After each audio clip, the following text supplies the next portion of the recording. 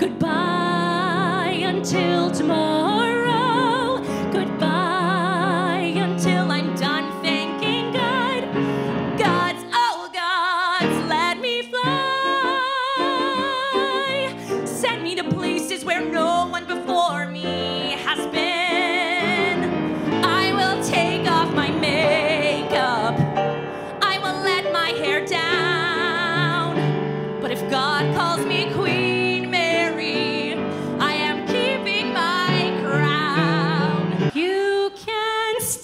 Can lick me, you can pinch me till I'm blue. You can bite me and delight me till I'm blind.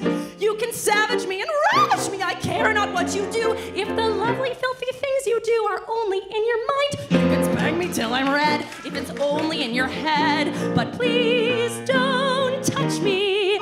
You can have me, don't you see? If it's just a fantasy,